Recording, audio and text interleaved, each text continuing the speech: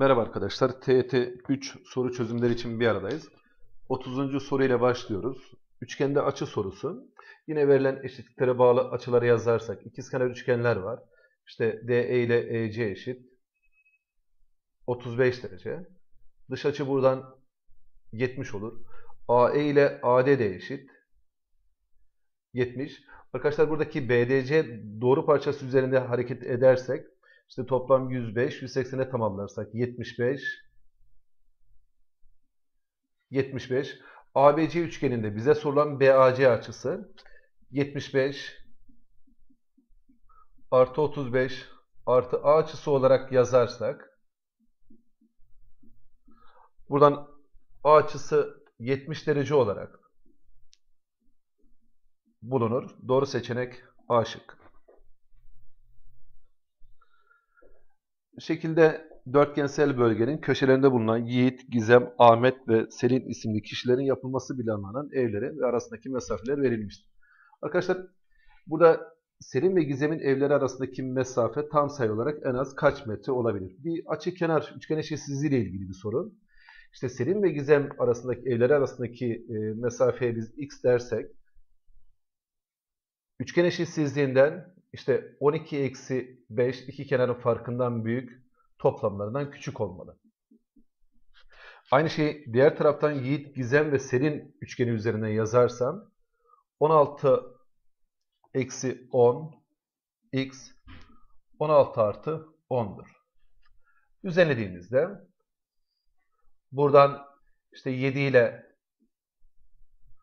7 ile 17 arasında buradan kaç olur? 6 ile 26 arasında olur. İşte Gizem ve Selin'in her ikisini sağlayacak değerler olacağından alacağı değerler 7 ile 17 arasındadır. Bize sorulan en az kaç metre olabilir? 7'den büyük e, en az 8 metre olabilir. Doğru seçenek C şıkkı. Aşağıdaki adımlar izlenerek bir geometrik çizim yapılıyor. BAC 90 derece olan bir ABC üçgeni çiziniz. Çizelim.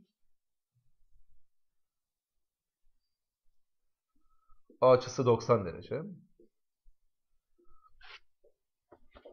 AC kenarı üzerinde A ve C noktasına farklı bir D noktası olarak alarak BD'yi çiziniz. Bir D noktası aldık. BD'yi çizdik arkadaşlar. D noktasından BC indirilen dikme ayağı H olsun. D noktasından BC dik indim. H olarak harflendirdim. Bu çizimde DH M diyorum. AD M DC buradan 2M olur. Yani verilen oranları M'e bağlı şekilde aktardım. BDH, BDH kaç derecedir? Şimdi arkadaşlar gördüğünüz gibi şu taradığım üçgende Dik kenar M, hipotenüs 2M, 30, 60, 90 üçgenidir. 30 derece olur. Şimdi bir doğru parçası şunu hatırlayalım. Şöyle indirilen dikmeler birbirine eşitse şunlar burası ne olmak zorunda? Açı ortay olmak zorunda. Buradan devam edebilirim. Yani eş üçgendir bunlar. M, ise açı ortaydır. Toplamda 60 dereceydi. 30-30 yazabilirim. Ve şurası da yine 180'e tamamlarsam 60 derece olur. Yani bizden istenen BDH 60 derecedir. Doğru seçenek E şıkkı. Uzunluğu 15 metre olan yer düzlemiyle 90 derecelik açı yapan elektrik direği fırtına nedeniyle iki yerinden parçalanarak 3 parçalar eşit olacak şekilde kırılmış. Arkadaşlar bunu modelleyelim. Şöyle modellediğimizde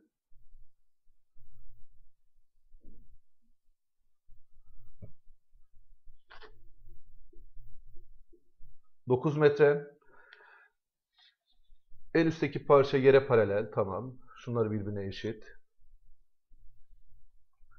Bizden istenen en üstte parça yere paralel olduğuna göre bu duvarın yüksekliği kaç metredir? Duvarın yüksekliğine x diyelim. Toplamda 15 metreydi. 3 eşit parçaya kırılmış. 5, 5, 5 olur. Şöyle tabana paralel çizersem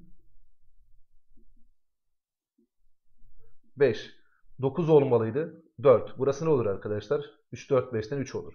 Şurada nedir? 3'tür. Yine dikdörtgenden 5'e 5. Toplam duvarın yüksekliği x. Buradan x olarak ifade etmiştim. 8 olur. Doğru seçenek B.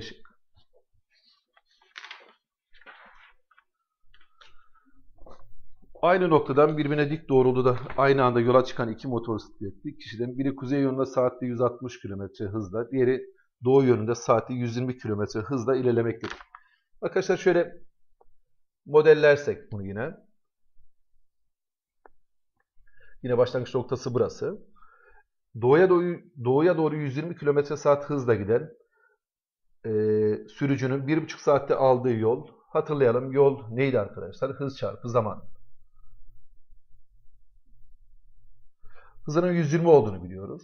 Çarpı 1,5 saat. Toplamda aldığı yol buradan 180 kilometre olur. Aynı şeyi kuzeye giden sürücü için düşünürsek hızının 160 olduğunu biliyorum. Düzenlediğimde buradan 240 olur. Bizden istenen 1,5 saat sonra aralarındaki uzaklık kaç kilometre olur? Yani şuraya AB dersem şu üçgende AB'yi soruyor aslında. 3, 4, 5 üçgenin katlarından 180, 18, 24. Burası da ne olmalı arkadaşlar? 300 olmalı. Doğru seçenek 5. Yukarıdaki şekilde dikey kenarı 189 metre. Yine burada verilen e, bilgilere bağlı harflendirirsek eş dikdörtgenler var arkadaşlar. X 2x ve 2x olur. Sonuç olarak 189 metre 3x artı 9 eşittir 189'dan düzenlediğimizde buradan x kaç bulunur arkadaşlar? 60. Doğru seçenek bize sorulan zaten x kaç metredir? Doğru seçenek C şık. 16 adet birim kareden oluşturulmuş kare levhanın üzerindeki her kutucuğa bulunduğu satır ve sütun sayısına göre iki basamaklı bir sayı yazılacaktır. Yazalım. Birin satır, birin sütun, bire 1, 12, 13, 14. Aynı şekilde devam edersem 21, 22, 23, 24, 31, 32, 33, 34, 41, 42, 43, 44. Daha sonra asal sayı yazılan kutular renkli bir kalemle boyanacaktır. Boyayalım.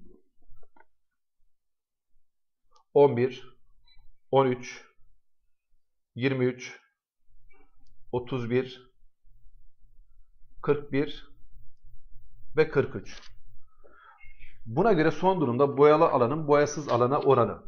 Boyalı alan 6, boyasız alan geri kalanları saydığımızda 10, düzenlersek 3 bölü 5. Doğru seçenek E şıkkı.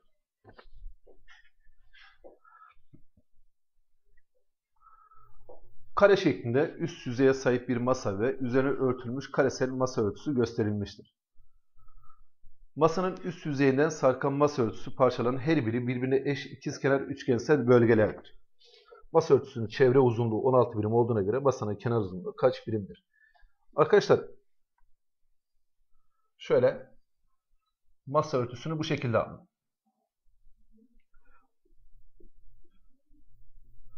ve çevresi 16 birim, bir kenarının 4 birim olduğunu biliyoruz.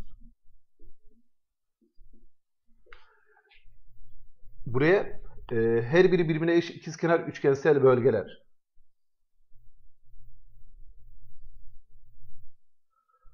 Orta nokta olmak zorunda.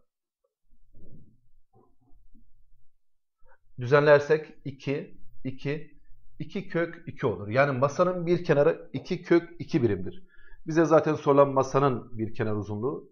Doğru seçenek B şık.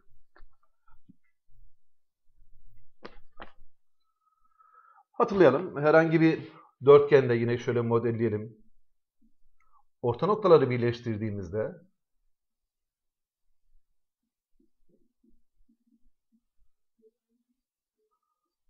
Buradaki elde ettiğimiz taradığım bu dörtgen bir paralel kenardır.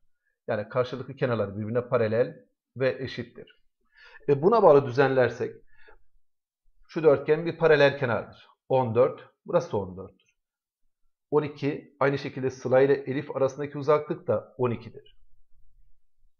Sıla'nın Elif ve Sıla'nın Elif ve Yiğit'e olan uzaklıkları toplamı kaç metredir? İşte Sıla'nın Elif'e olan uzaklığı 12, Yiğit'e olan uzaklığı 14 metre. Topladığımızda 26. Doğru seçenek E şık.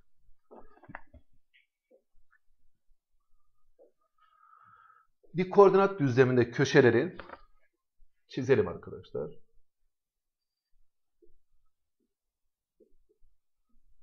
Eksi 6'ya 8. Eksi 6'ya 0. A noktası. 0'a 8. B noktası. İşte ABC noktaları olan ABC üçgenin kenarortayları orijinde kesişmektedir. Şimdi devam ettiğimizde buranın orijin olduğunu biliyoruz. 1'e 2 oranından 3 birim. Aynı şekilde 8, burası ne olmalı? 4 olmalı. Yani bizim ABC üçgeni olarak ifade ettiğimiz üçgen şu şekildedir. Bizden istenen ABC üçgenin kenarortay uzunluklarının toplamı. O nokta ağırlık merkezi. Devam ettim. 6, 8, 10. 5, 5, 5 olur. 1'e 2'lerin burası da 10'dur.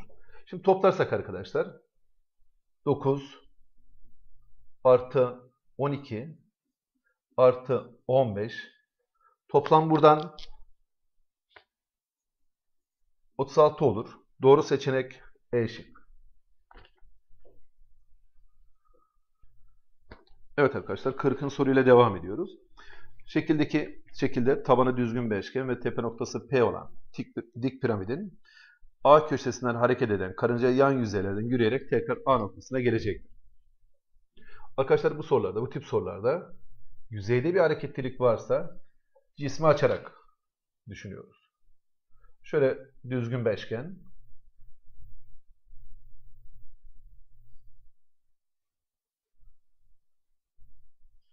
Buraya A dersem, burası da A üssü olsun katladığımızda. Aradaki açı 24 derece. E, birbirine eş 5 açı var. 24 çarpı 5'ten toplamda 120 derece olduğunu biliyoruz burada. 6 birim, 6 birim. Yukarıdaki verilere göre karıncanın alabileceği en kısa yol şudur arkadaşlar. Sonuç olarak 120, 6, 6. Şurası A. Buraya A üssü dersem 6 kök 3'tür. Yani doğru seçenek D şık.